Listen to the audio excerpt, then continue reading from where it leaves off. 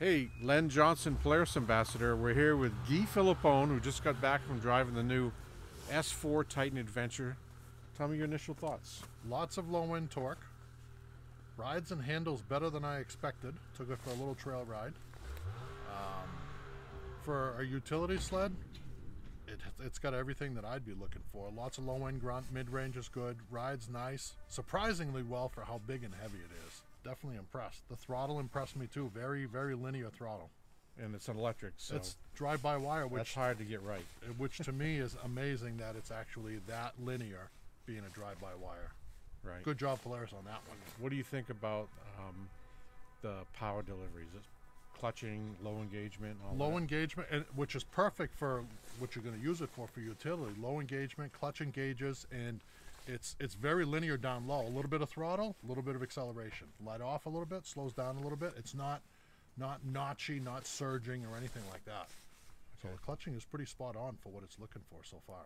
Right. Turning radius and things like that. Turning radius is absolutely amazing. That's what I wanted to say is that thing turns inside of our trail sleds, which are XCRs and boosts and I couldn't believe it. Just turned around right in front of the house without having to go back into reverse. That is amazing. and that's amazing because it's 155 inch track. It's huge. Yeah. it's it actually turns on itself. I couldn't believe it. Seating position, ergonomics, windshield, all that. All that all that stuff seemed good to me. The only thing I might I might add as a suggestion was being how it's more of a utility sled, I think it'd be more comfortable for the driver to sit up just a little bit higher. More like an ATV style seating position. yeah, Your you're knees- right. That that besides that, windshield coverage is good. Everything else was good, but the, a, a little higher seat, I think that would that would make it. I agree too because I find that because it's so wide, Yep. it spreads my legs out a lot. Yeah.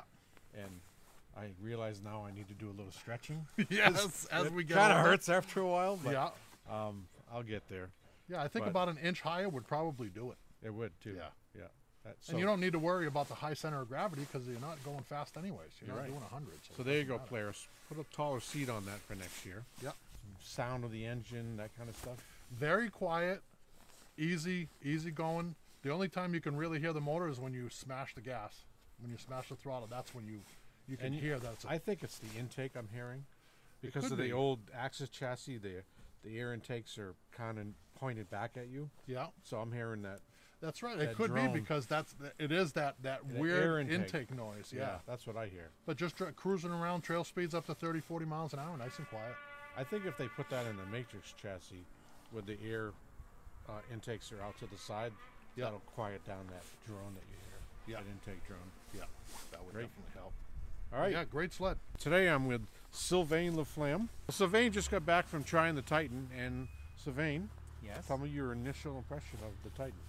Well, the first impression when you look at it, you think it's a Titanic. It's huge.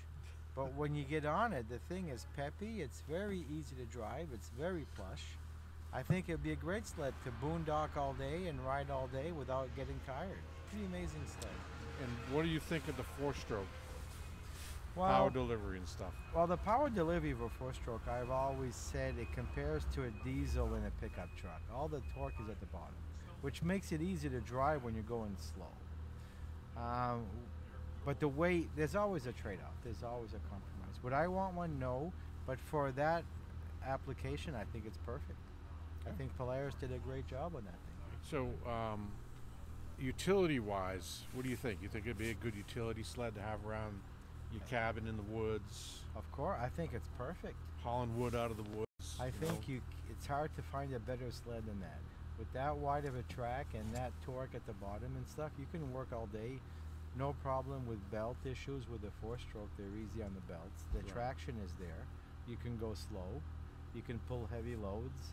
The only downside is if you get stuck. Oh yeah. It's but I mean, sled. but that you know.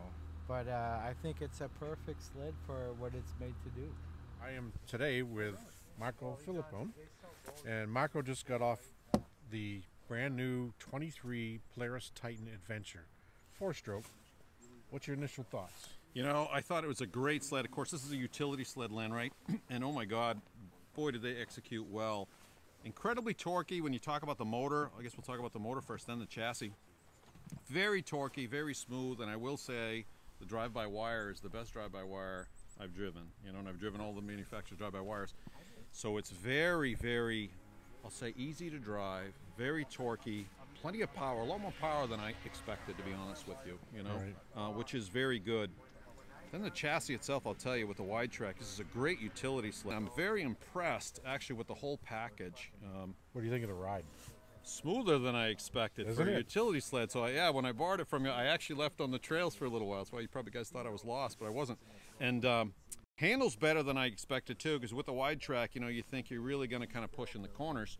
Didn't push at all. It steered very positively. Wasn't hunting.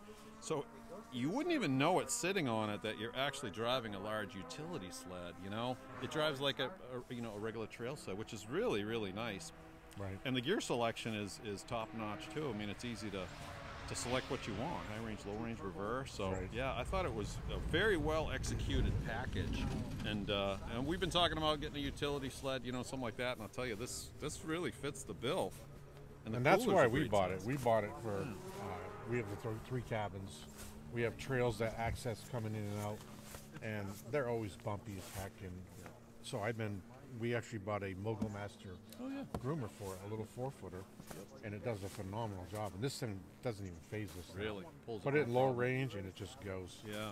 Ambassador Lenn Johnson here, and I'm with Tim Wilder, who's also another ambassador. And today we had our uh, ambassador event in Pittsburg, New Hampshire. And while we're out riding around, we brought the Titan Adventure with us, the 2023 four-stroke 1000cc twin. Tim Wilder, live in Rochester, New Hampshire. Been an ambassador with with Lenny for a few years now. We ordered a new S4 this year, just waiting for it to come in, uh, and got the opportunity to ride the sled today. And you actually ordered this sled, right? Didn't Yep, you? yeah, with a 137 on it. Oh, so Yeah, you the went Adventure with the, 137. The Adventure, yep. Yep, Yep. yep, with the S4 engine. Yep. So, what's your first, you know, like your initial impressions of the engine and the, the uh, electric throttle, all that? Yeah, so it's, it's been a few years since Polaris took a stab at you know putting a uh, uh, a four stroke out there and getting on one today for the first time in a number of years. What a difference! The technology's come tenfold from what it was before. So the sled offers this one of the smoothest transitions from power to the track to the trail that gives you the ability to take off without extra track spin, overpower load on the on the end of the the uh, throttle, and it just gives you a great feeling underneath yourself that the engine, you know, is just a bulletproof engine. The Titan itself being a 20 inch wide, 155 inch track, what did you think of the chassis itself? Stable. Yeah. How's the ride? Yeah, smooth. You know, it, it, it eats bumps, it's comfortable, um, and gives even power delivery all the time, no matter where you are on the throttle. Yeah. Are you going to win any races on the lake with this thing? Uh, no, but you'll always get home. Yep. Yep. and you'll never never have to worry about passing a gas station because you can fill it up once. I think I've got it up to 70 once, but it gets to 60 pretty good. yeah, it does. Yeah, that's Yep. where it likes to be, zero to 60, that that range. Yep. And that's plenty fast for trail riding. I Yeah. think, Yeah. No, Anything else about it that you noticed? No, I mean- sound. You know, Oh yeah, I mean completely, Volume. completely different sound. You know, it's a it's a it's a much more subtle, deeper sound, like a rumble, more than a you know that raspier or rappier two stroke that Two-stroke, you're used yeah. to. So, uh, you know, almost like uh, having an Evinrude t- attached to the back going across the lake. Yep. Hey, Ambassador Lenn Johnson here with you. And what we're doing today is we're doing some more on the Titan. So, with about 236 miles on it now, still breaking it in, still getting used to it, still learning about how the sled is. But I have to say, it's pretty amazing. It goes good, it's quiet, it's decent on fuel. I've got the inch and a half track on it. And one of the things I've noticed with this sled is the ability to turn, the turning radius for a 155 inch long track. This thing turns pretty sharp. It actually outturns any sled I've ever been on, modern sled, I should say. So what we're going to do in this video, in this part of the video, we're going to show you how tight of a turn radius it has. And we're going to compare Brooke's Assault, which is a 146, that turning radius to the turning radius of the 155 Titan Adventure. Now, you, as you can see, the Titan's the inner circle, which is pretty tight. I have a six foot width arm span from fingertip to fingertip. And I would have to guess that the inside edge of the Titan's turning radius is somewhere around nine or ten feet. That's pretty good. If you look at the assault's radius, it's it's out there by at least three feet wider on the outside edge to the inside edge of the assault's turning radius. So a great feature of the Titan for people that are going to be using it for utility riding is the ability for this thing to turn in such a tight circle. Another feature of the Titan Adventure with the four-stroke motor is the accessibility to stuff. So you got an easily accessible oil tank, a built-in belt holder. It just seems to have plenty of room under the hood to get at certain components for like oil changes and things like that. The belt's very accessible and there's a spare belt holder in here. Now I want to talk to you about cooling. The four-stroke on the Titan Adventure has a front-mounted radiator which also has a fan behind it. This sled never gets above 180 degrees all the time that I've been driving it. And we've been driving it on very marginal snow conditions, deep snow conditions, you know, quite a range of different conditions. Today it's about 30 degrees out and it just doesn't seem to break a sweat. This thing just stays cool. And it's got to be because of this radiator they have up front. So not only does it have the radiator, it's got the rear heat exchangers like a regular snowmobile. And very important when you're grooming or going slow or you're in warm spring conditions so that you know the sled's not going to overheat on you. Another thing that I discovered about the Titan Adventure is that it has a block heater.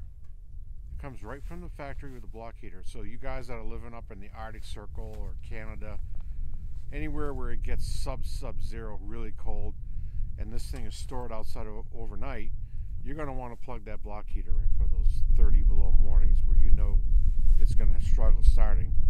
And that's an awesome feature because if you think about it, this thing can be an all-weather vehicle. It's going to run when it's warm or it's going to run when it's super cold.